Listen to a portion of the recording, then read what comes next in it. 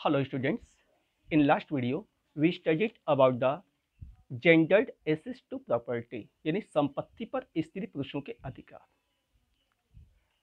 and according to Manusmriti we studied that paternal estate should be divided equally among the sons after the death of father यानी पिता की मृत्यु के बाद जो है जो भी संपत्ति है उसको जो है पुत्रों में बराबर बांट दिया जाना चाहिए while the eldest son should be given a special share of that. यानी कि बड़े बेटे को कुछ अधिक हिस्सा दिया जाना चाहिए। It was mentioned according to Manusmriti well the daughters were deprive of that जबकि लड़कियों को उससे वंचित रखा जाता था।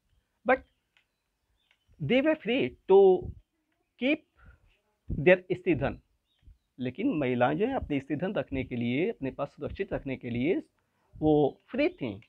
And no one could claim about that stridhan और उस स्त्रीधन के विषय में कोई भी उनके उन पर दावा नहीं कर सकता। Even her husband could not claim about that यानी उसका पति भी उसके बारे में उसे डिमांड नहीं कर सकता था। What was stridhan stridhan was all that type that gift and the money which we are given to that lady at her marriage occasion ठीक है बेटा? And that was inherited to her children और वो स्त्रीधन जो है, उस पत्नी मतलब महिला के बाद उसके बच्चों का हुआ करता था। है? तो now our next point is four point two और and that is varna and access to property varna and access to property यानी वर्ण और संपत्ति के अधिकार।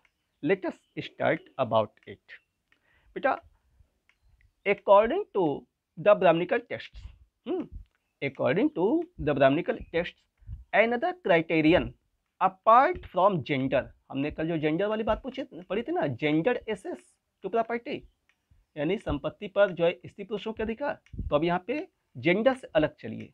यानी apart from gender for regulating access to wealth was varna यानी कि उस जेंडर के अलावा जो है, एक और आधार था, वो था वर्ण।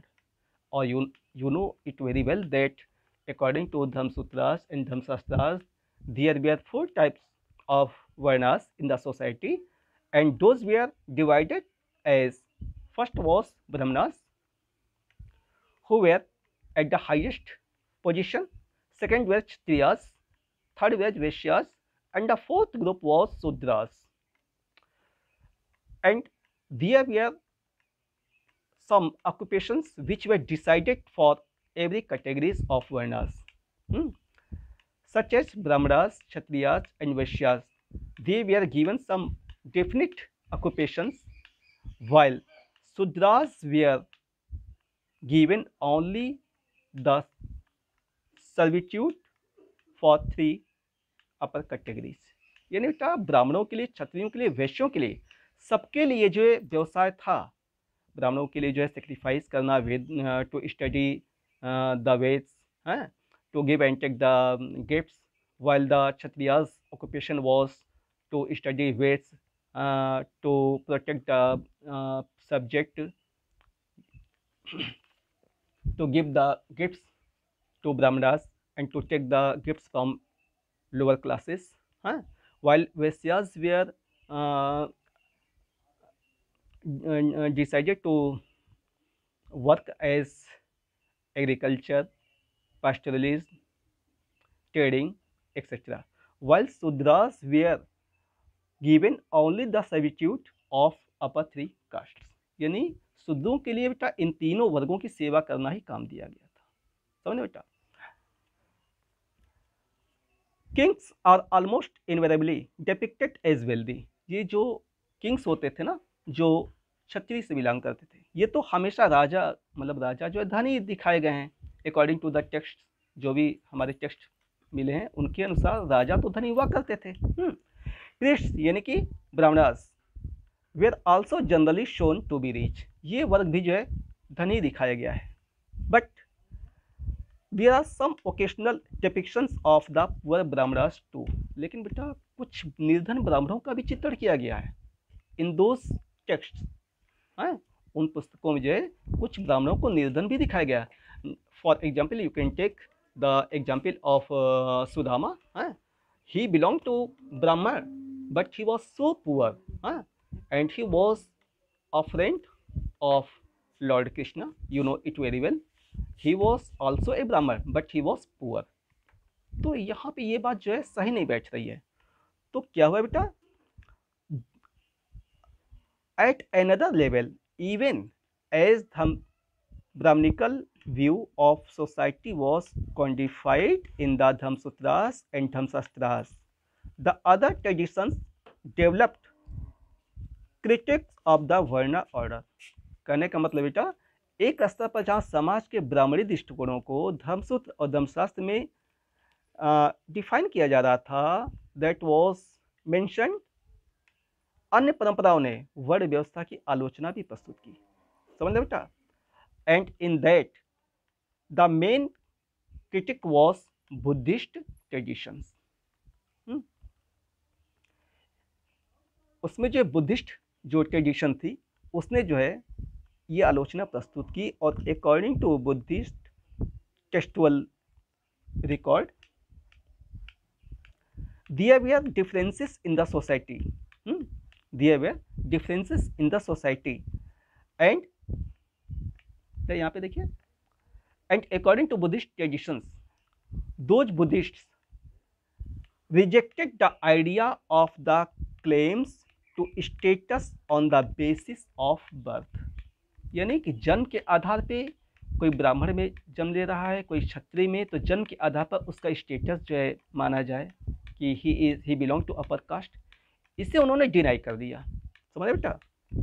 According to the Buddhist they rejected the idea of claims to status on the basis of birth यानी बौद्धों ने जन्म के आधार पर सामाजिक प्रतिष्ठा को अस्वीकार कर दिया। दे डिनाइड समझ बेटा? And beside it they also did not regard it as a natural और इनफ्लेक्सिबल यस, यानी कि उन्होंने इसको भी न तो प्राकृतिक माना और न ही इसे स्थायी माना।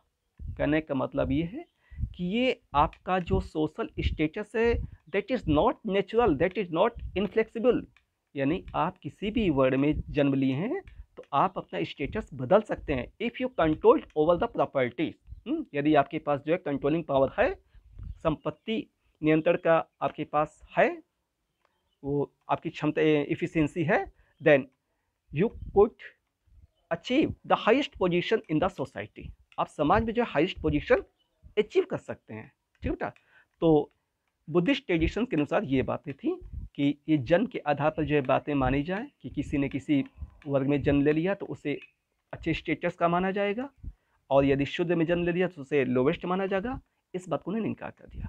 और ये भी कहा कि ये चीज़ें जो जन्म के आधार पर हैं वो नेचुरल नहीं हैं और इनफ्लेक्सिबल भी नहीं है, यानी वो प्राकृतिक भी नहीं है और अस्थाई भी नहीं है। Any one who can effort में achieve any status in the society जो कोई भी प्रयत्न करे, वो समाज में अपनी प्रतिष्ठा इमेज बना सकता है। इट वॉज़ ऑल नाउ और next point is four point three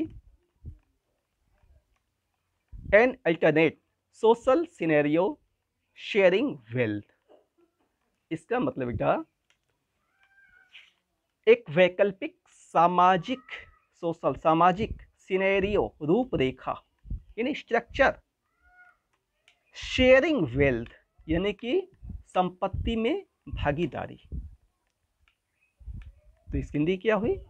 एक अल्टरनेट यानी कि एक सब्सिट्यूट है, एक वैकल्पिक सोशल, सामाजिक सिनेरियो स्ट्रक्चर, रूपरेखा, एक वैकल्पिक सामाजिक रूपरेखा किसके? शेयरिंग वेल, यानी संपत्ति में भागीदारी की। Let us know what was it the southern part of India included Andhra Pradesh, Kerala and Tamil Nadu. That all the area was called Tamilakam, यानी दक्षिण भारत का जो केरल का आंध्र प्रदेश का और ये तमिलनाडु का जो हिस्सा बेटा उसको मिला करके जो है उसे तमिलक्कम कहा जाता था। समझा ना? तो which text are found in Tamilakam areas it is said it is mentioned in those texts that in all this area which was spread in, in Tamilakam, there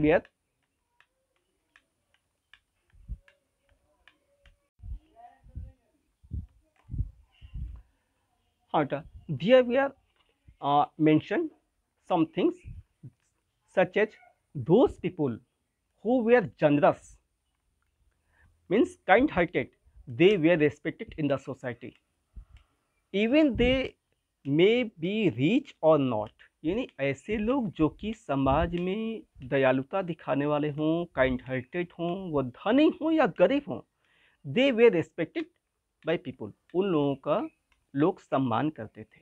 While those people who were so wealthy but they were as a greedy type as selfish nature those were disrespected by the people यानी तमिलक्कम में ये बात बताई गई है कि उस पूरे एरिया में जो लोग दयालु हृदय के होते थे, उन्हें लोग रेस्पेक्ट देते थे। और जो सेल्फिश नेचर के होते थे उन्हें लोग डिसरेस्पेक्ट करते थे। हाँ बेटा there was a famous text of Tamil that is called Tamils sorry Sangam text just like in our northern India's are considered Vedas जैसे हमारे उत्तरी भारत में वेद माने जाते हैं उसी तरह से जो है तमिलनाडु में जो वहाँ का फ़ेमस टेस्ट है उसे हम संगम टेस्ट कहते हैं according to Sangam text there are mention some anthologist and there is mention about the some social economic relationship that suggesting some social re economic relationship that suggesting that while there were differences between rich and poor यानी धनी और गरीब लोगों के बीच में कुछ अंतर होते थे and those who controlled resources were also expected to share them यानी दोज हु कंट्रोल्ड रिसोर्सेस वो लोग जिनका संसाधनों पे अधिकार था, यानी those people who were wealthy जो लोग धनी होते थे वेर एक्सपेक्टेड उनसे लोग उम्मीद करते थे टू शेयर देम कि अपनी पब्लिक में उनका शेयर करेंगे बेटा। ठीक ना? And those chief of the chiefdoms और use to give something to the bard to poets so that they mention in their poets about the praising of those chiefs, जो चीफ लोग होते थे किसी चिफडम के, यानी एज ए रूलर, वो जो है कभी लोगों को कुछ न कुछ जो है धन दिया करते थे ताकि वो उनके बारे में बढ़ा चढ़ा चढ़ा करके कुछ बातें मेंशन करें। चाहे ग्रंथों में, चाहे जिस पे भी, ये लोग उनको पैसे दिया करते थे। और ये उम्मीद की जाती थी उस समय कि जो भी धनी व्यक्ति है, वो सबको साथ में ले करके चलेगा। दिस वॉज़ ऑल एंड बेटा see in your page number seventy there is a source thirteen here is written, the wealthy shudra. The wealthy shudra, यानी एक ऐसा व्यक्ति जो शुद्र जाति का है, लेकिन ही इज़ वेल्दी वह धनी है। This story is based on a Buddhist text in Pali known as Majjhima Majjhima Nikaya Majjhima Nikaya it is a part of that dialogue between a king named Avanti putra and a disciple of Buddha named Kachchana यानी यह एक राजा का लड़का जिसका नाम है अवंतीपुत्र और भगवान बुद्ध के शिष्य कंचन के बीच में it is a type of conversation in which Avantiputra asked Kanchan, जिसमें अवंतीपुत्र जो है कंचन से पूछते हैं what a thought about Brahmanas who held that they were the best caste and that all other castes were low वो पूछते हैं कि कंचन जी, आप ये बताएँ कि ये ब्राह्मणों का ये मानना कि वो सबसे ऊँचे हैं हैं? क्या ये उचित है? Those Brahmin call themselves the son of Brahma they consider themselves as a god as a parallel of god वे लोग अपने को भगवान के समतुल्य मानते हैं। इज़ इट राइट तो how replied Kanchan? See in your book what if a shudra were wealthy? Would another shudra or a kshatriya or a brahman or a vaishyas speak politely to him यानी कंचन जी ने पूछा कि एक बात बताइए मुझे। किससे पूछा? अवंती पुत्र से। पूछा, एक बात बताइए मुझे। What if a shudra were wealthy यदि एक शुद्ध जाति का व्यक्ति धनी होता तो क्या होता? वुड एनदर शुद्रा, और ए छत्री और ए ब्राह्मण, और ए वैश्य स्पीक पोलाइटली टू हिम तो क्या दूसरा शूद्र या छत्री या ब्राह्मण या वैश्य उससे पोलाइटली से बात करता, आप मेरी इस बात का जवाब दीजिए। क्या अवंती पुत्र रिप्लाइड तो अवंती पुत्र ने जवाब दिया that if a shudra had wealth or corn or gold or silver यानी वो शुद्ध व्यक्ति, जो धनी है, उसके पास तमाम धन है, अनाज है, सोना है, चांदी है he could have as his obedient servant another shudra to get up earlier than he to go to rest later to carry out his orders to speak politely कह रहे हैं वो अवंती पुत्र, कि यदि एक शुद्ध के पास धन होता ना तो जो दूसरा शुद्ध है, वो उसकी सेवा करता, उसके सोने से, सोने के बाद वो सोता उसके जागने से पहले वो उठ जाता, उसके तमाम आदेशों को मानता एंड टू स्पीक पोलाइटली और बहुत विनम्रता से बात करता। और he could even have a Kshatriya or Brahmin और ए वैश्य एज हिज ओबिडेंट सर्वेंट और यहाँ तक मैं मानता हूँ कि यदि धन होता उस व्यक्ति के पास ना तो चाहे कोई ब्राह्मण हो या क्षत्रिय हो या वैश्य हो, वो भी उसकी आज्ञा को मानता, उससे जो है पोलाइटली बात करता। यदि उनकी, उनके कंपेयर में अधिक वेल्दी है तो मैं ऐसा मानता हूँ। कंचन, आश। तब कंचन ने जवाब दिया this being so this being so यदि ऐसा है are not this four varnas exactly the same तो बताइए, क्या चारों वर्ण एक समान नहीं हुए? अवंती पुत्र, considered that there was no difference amongst the varnas on this account. तब जय अवंती पुत्र ने इस बात को स्वीकार कर लिया, वो सब ही कंसिडर्ड एट वंस क्या? कि इस आधार पर चारों वर्णों में कोई भेद नहीं है। This no difference between the varnas on this account that's all बेटा। Thank you